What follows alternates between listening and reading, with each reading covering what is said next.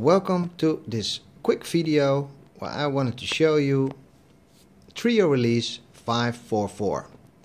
There are some very nice new features in the 544 release which I wanted to show you. So here you see the interface from the Trio 544 release, uh, very clean with the icons and the colors from Skype for Business. So you don't have to put any manuals next to the Trio all the buttons and coloring already speaks to the user itself how they need to use it.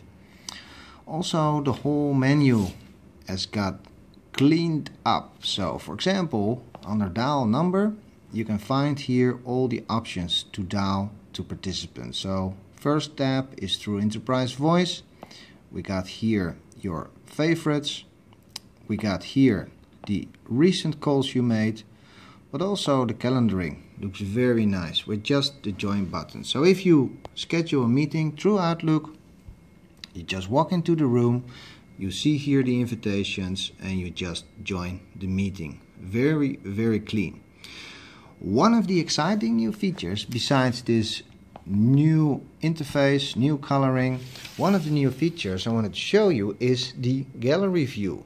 So now in this release we have the possibility to show all the participants in the meeting. So let me show you that. So here on the trio, we go here to meet now, and this means we're able to set up a conference on the Polycom unit. So now you see we are now in the Skype for Business meeting. And what is noticed right away, you see here that all the options are now directly accessible but also on the left below you see the layout button.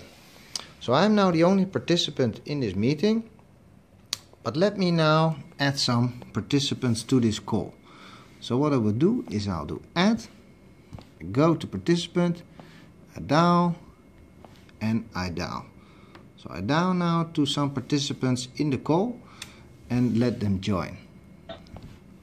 Dial another participant in the call Uh, some other participants. So now I'm dialing this one and let them join also. So I'm joining now several participants in the call. Okay, I'm letting my own laptop join down.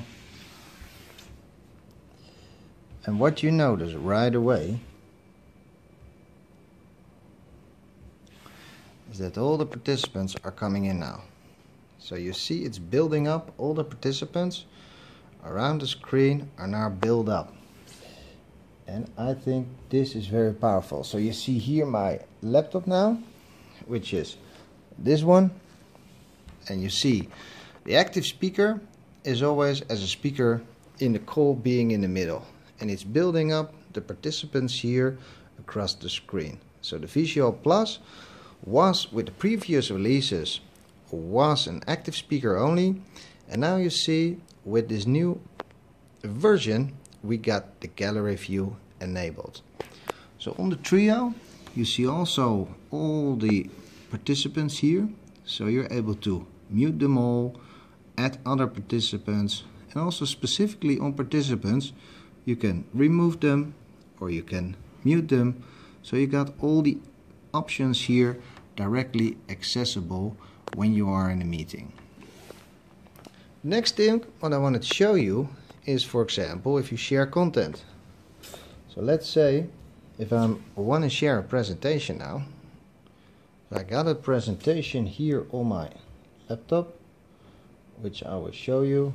Present desktop here. We'll make the screen big. So what will happen on Trio the presentation is now placed on the top so I can also make it a bit bigger so it's full screen. And here you go. So you got the participants all underneath and the presentation at the top.